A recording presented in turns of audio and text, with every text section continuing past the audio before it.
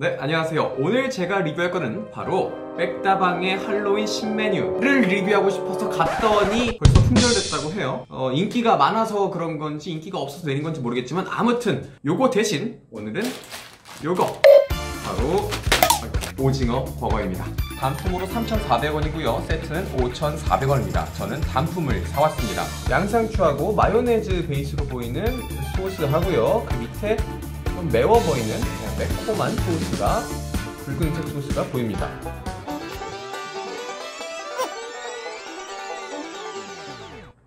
생각보다 매콤한 햄버거였네요. 매콤을 좀 넘어서 약간 약간 매운 햄버거인 것 같아요. 패티 안에 보니까 이 빨간색으로 되어 있어가지고 뭔가 고춧가루 비슷한 게 매콤한 게 들어가 있는 것 같고 색 자체가 빨갛습니다.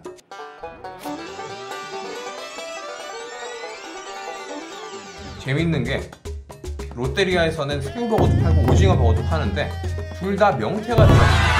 그냥 명태 버거를 만들면 오징어 버거와 새우 버거의 중간 정도 되는 그런 인기를 좀 내지 않을까 싶은데 명태 버거를 만들지 않는 이유가 조금 궁금하네요. 헛소리 하지마 임마 먹을수록 점점점 그 입안이 알싸지면서 제가 매운 걸 먹으면 코에서 땀이 나거든요. 지금 바로 땀이 나기 시작했어요.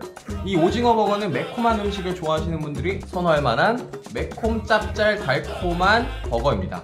어 매워.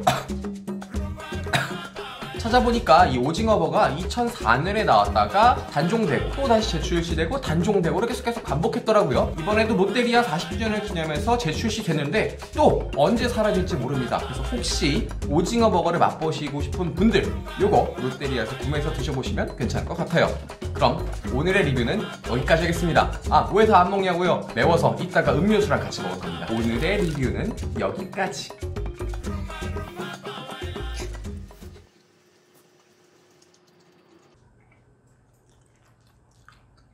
이게 명태살인지 오징어살인지 모르겠는데 여기 보면 하얀색 살이 보입니다.